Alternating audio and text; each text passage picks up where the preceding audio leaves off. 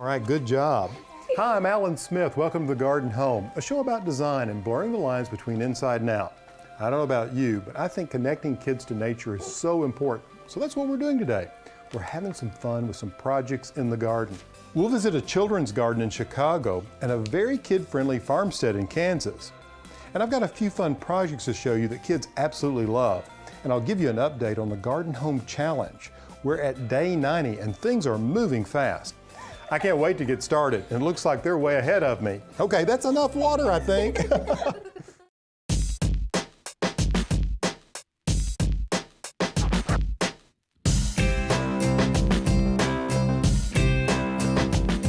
A fun indoor project that's a perfect opportunity to express some creativity with kids is making a rock mosaic.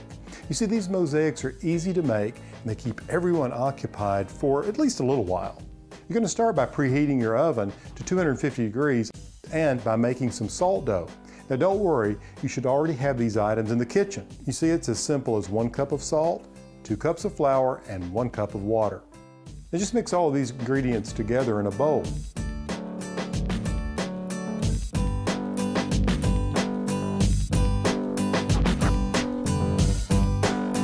Then sprinkle a little flour on a clean counter and set the mixed dough on top. Using a rolling pin, roll out the dough to any shape you like.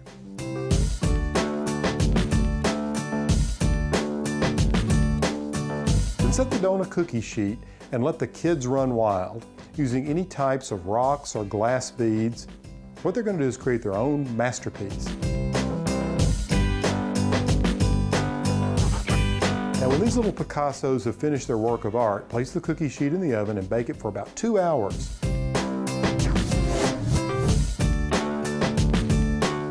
It's cooled, spray it with several coats of acrylic spray. Now you have a beautiful rock mosaic to set anywhere in the garden.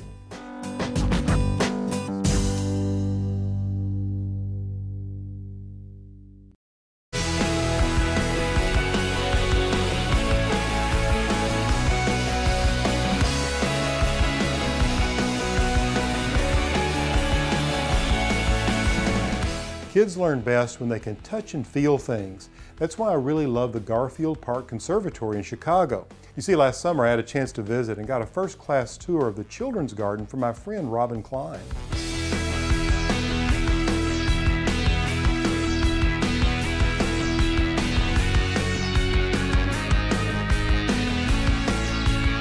You know, Robin, So- this is such an active place. Yeah. The kids are loving it. Yeah, they love it. Well, here we are in the middle of a conservatory. If you want to know that it's a kid's place, just put a slide. I it, know right? they're they're crazy about this. It's kind of Yeah. fun. This is must be the big feature here. These Yes, these uh, have- carnivorous plants.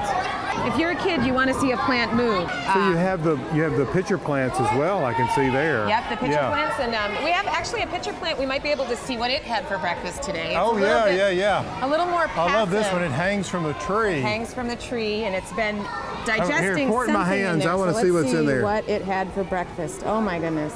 Look, there's some Some ants. ant bodies. There's an ant right there. oh my goodness. Oh, look. Oh. oh whoops! Ah, there's That one. one that got away. and there's some debris from some dead Yeah, insects. yeah. Well, Wow, we just saved this spider's life. I think we did. I'm going to turn him loose. Very good.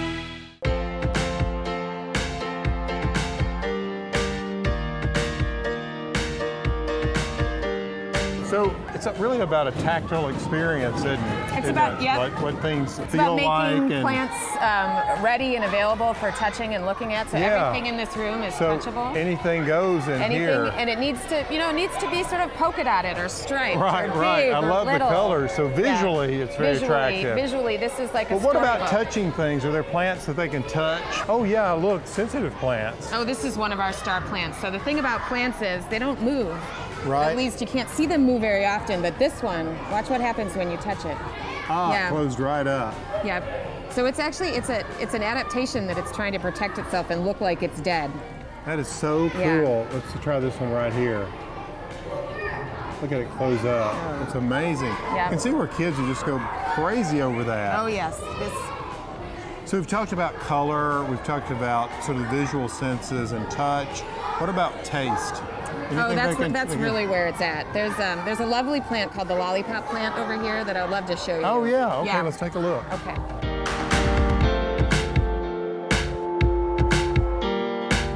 Hey, this is a lime tree. Yeah, it's a lime tree. This is one of our special plants here.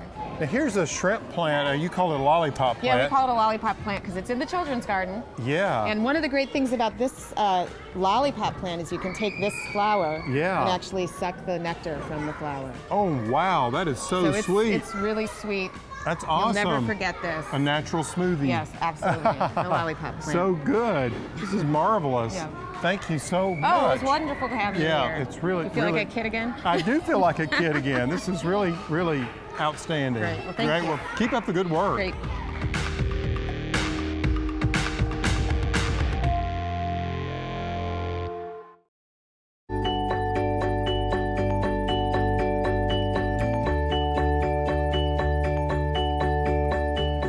Another great hands-on project that you can do with kids and will attract different species of birds to your garden is to make this very inexpensive bird bath. I know I say this all the time, but it really is easy to do. To start, you'll need some rope. I recommend a 3 8 inch either manila or sisal rope. You can pick this up at any home improvement store. You're also going to need a 15 inch grapevine wreath and a 10 inch terracotta saucer with a few branches of bittersweet. Cut three 5 foot lengths of rope and tie a knot at one end. Then nestle the wreath on top of the rope so that the knotted end is centered beneath the wreath. Next, take the other end of the rope and make another knot. And make sure it's tied tightly because this end will be hanging from a tree. Place the saucer on top of the wreath and hold the bird bath up by the end of the rope. Make sure the wreath and the saucer are level and sturdy. Now simply hang the bird bath in a tree and weave the bittersweet branches up into the rope. The bittersweet is really for decoration, but it also serves as shelter for birds, and actually some bird species will eat the bittersweet berries. With the bird bath now in place, all you have to do is fill the saucer with water, sit back and watch the birds enjoying their new watering hole.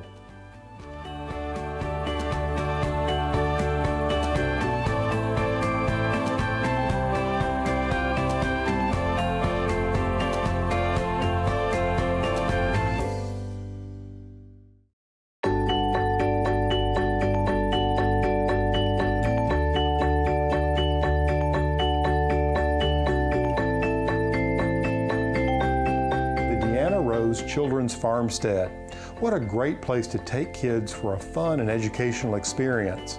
You see, the farmstead is designed to depict a turn of the century family farm with close to 200 animals, vegetables and flower gardens, and so much more.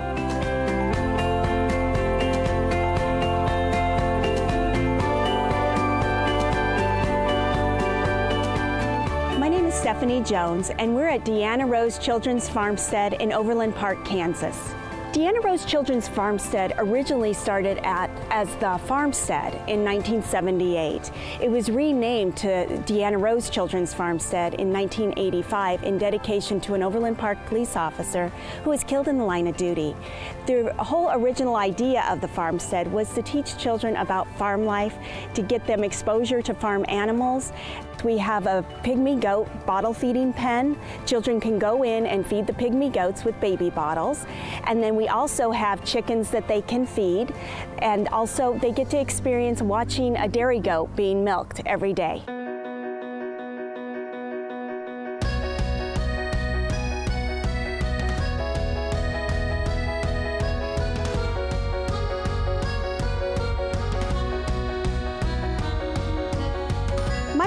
I'm holding today is Cowardly Lion. She's one of the chickens that has been raised in the general store this season. Our attendance at any given weekend with nice weather like this, we could get 5,000 visitors today. In a season, we can get over 400,000 visitors visiting the farmstead. If our fishing pond is open, they get to go and fish in our pond, and that's sometimes their first experience of fishing. And they get to feed the baby goats. They can go into our old schoolhouse. It's a one room schoolhouse that is actually one original one that was rebuilt on our grounds, and they can have a school lesson in there. And then they can go on, see the dairy cows being milked, mm-hmm. and then they can go to the original side of the farmstead, and that's where they get to see more animals.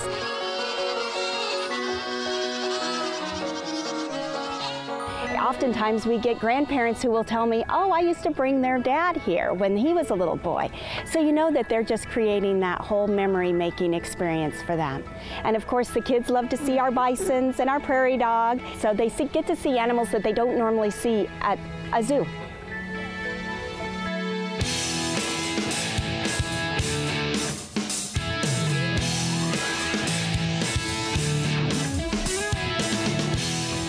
It creates a great learning environment about all the different animals that are here in Kansas. That is what Kansas is about. And it's also an experience for families to make memories that last a lifetime.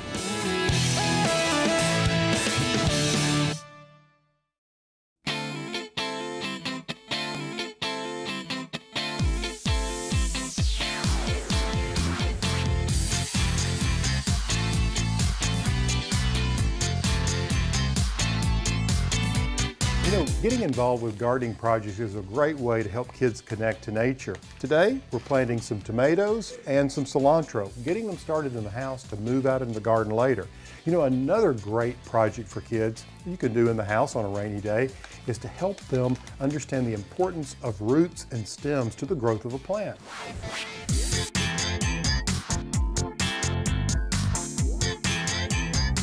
With a bunch of white carnations, water, and a little food coloring, the kids will be able to see how water is absorbed into the plant and be amazed when the petals change color. First, pour some warm water into a few glasses, about half full. And then add about 10 drops of food coloring to each glass.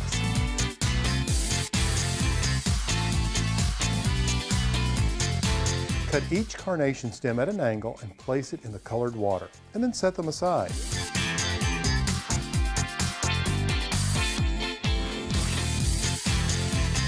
In about four hours, you'll see the petals start changing colors. I like to leave them overnight to get the best results. This is such a fun and easy project you and your kids will enjoy.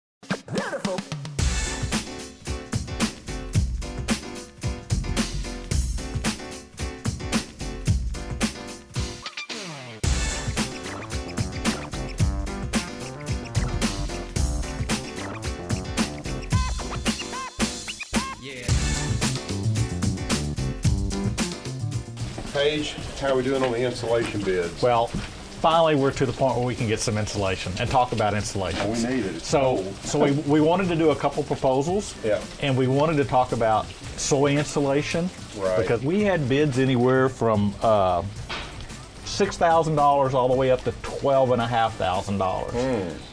We're going to spend probably another $1,500 more on insulation, but this insulation is very important that we get this right. This is our envelope. We, we have to get this part right. It's, it's very important to our numbers with Energy Star.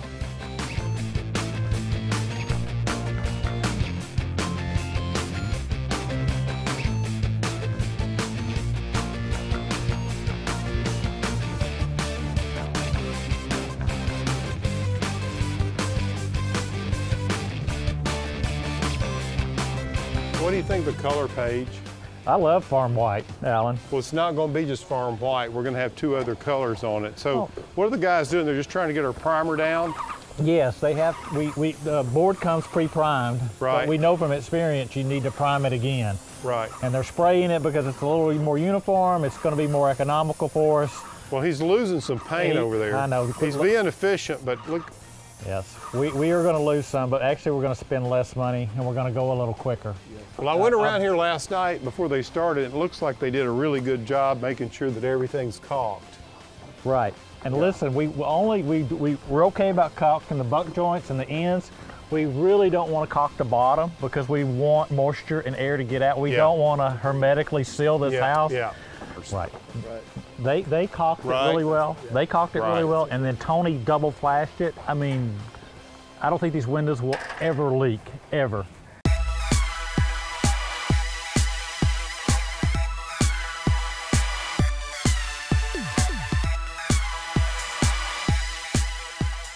Talked about, or have you figured out, or running the uh, Well, one of the- modeling on the burlap? Well, we're, we're, we're, we're doing the model for the burlap, and what we decided to do, I called a couple of my decorator friends, and they said, look, just go with regular wallpaper paste, which is basically wheat paste. Okay. And apply it with that. And I, I had in my head, you know, we might try something like Elmer's glue or something like that, but they said, really, probably the, the wheat paste is best.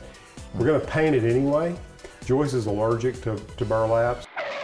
This is definitely the first time I've heard about Joyce being allergic to the burlap. Um, it makes me a little bit cautious to, to want to put that up on the wall. I said we're going to be putting it up as wallpaper and then we're going to be painting it, so she was fine with that. I think it's just the particulate that- gets into the air, you know, that, that, that comes off of Right. fabrics, and particularly a coarse fabric like burlap. I don't know about painting it. Um, you know, we're going to use wallpaper uh, adhesive to, to put it up on the walls. We might want to consider using wallpaper adhesive to seal it in as well. The burlap has come in, we ordered it, and um, we've got the boards, and they're actually going to mock one up. Uh, on the percentage, we're probably, uh, you know, about 70 to 75% through. The problem is this last 25% is going to be hell. So it's just two people working on the whole interiors, on the finish out and everything. So that makes it just a little bit slower. Normally we would have people, a specific person just to do trim, a specific person just to do cabinets, a specific person just to do a job skill in this finish out. But the way we're doing this, it's, uh, you know, Tony and Tony are doing most everything on the finish out.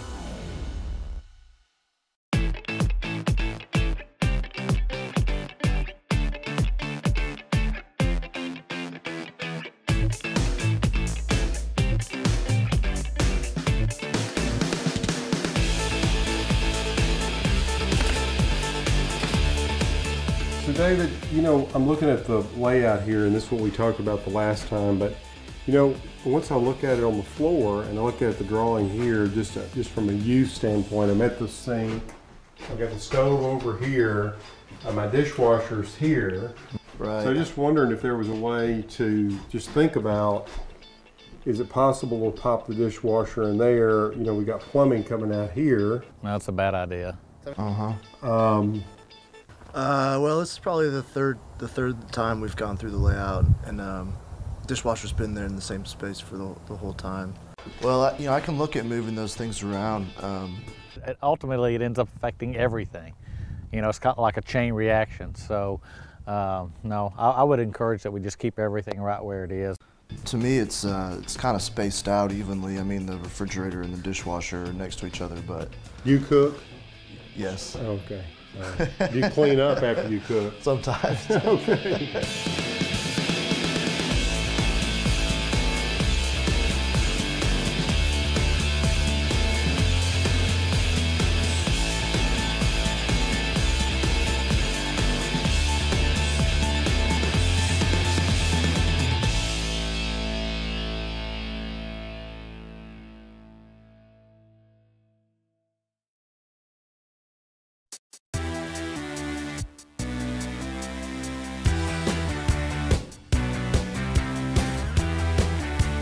You know, I always enjoy getting photographs of your homes and understanding what your challenges are and what you would like to do to transform your garden into something more beautiful. Today we have a garden from Erica and Mina. Now, what I don't have a lot of information from, from Erica, but I do know that she really would like to cover up this foundation along the front of the house. And I think there's some things we can do to really warm up this house, Erica. What I would like for you to do is think about painting the house whenever it comes time for that, uh, maybe sort of a taupe gray or a light gray color. All right, now let's talk about some of your other challenges. You said that there's a neighbor you'd like to block. Um, since you like arborvitae, what I would do on the other side of the carport is plant some of those uh, green giant arborvitaes. They make an excellent, excellent hedge. The other thing I'd like for you to consider is maybe removing this tree. So if this went away we had an open palette to work with, and we took the mailbox and moved it over here closer to your, your walkway and drive.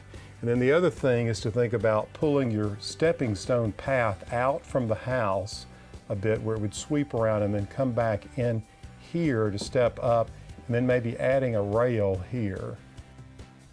I noticed down here you have a trellis uh, that is hiding uh, the gutter that comes down and possibly some utilities. I like the fact that you have it painted white so it blends in. It looks like you may be trying to grow something on that. So the idea would be to start over here and punctuate this side with a boxwood. That's one of the plants that you mentioned you liked. And then I would do this curved line of boxwood that would come around in front like this and back over to this corner. And in this space, so you would have these boxwoods that would create the outside edge of your border like this. In front of the house would do a red maple tree for fall color coming up like this. And then I would fill this whole front bed here with knockout roses, which would be spectacular right here in the front. Behind the hedge, you're going to have your stepping stones that are going to bring you up and curve around and then back up to this step. And then behind it, what you can do is then plant fern. It's a little hard to know exactly which direction this house faces. If it gets morning sun and no afternoon sun, the ferns would be beautiful as a foundation plant here. So I would also like to have a larger plant here like a Camellia sasanqua and a Camellia sasanqua here and one also down here. I mentioned moving the mailbox down, so let's just pretend that this has been shifted down toward the drive up to the carport. What you might do there is just take the boxwood and come in around behind it with five plants, one, two, three, four, five, and then do a low ground cover under it, and then let a vine grow over the top of it in the form of a scarlet honeysuckle. They have a beautiful trumpet-shaped bloom. It has a reddish color, and hummingbirds love it. Erica, I hope this is helpful to you. Good luck with your project.